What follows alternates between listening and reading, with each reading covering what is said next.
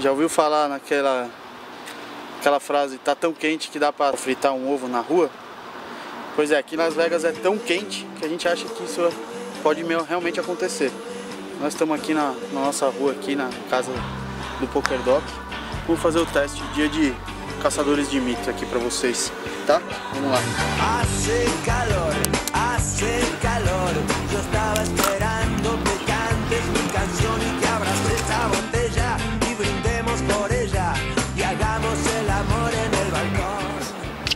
Tá ficando branco mesmo, velho.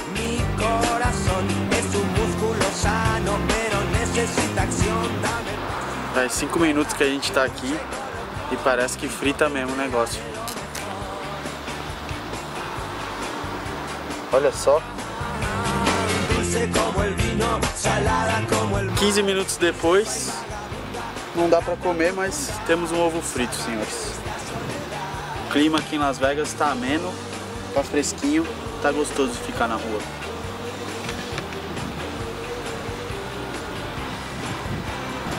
Fritinho.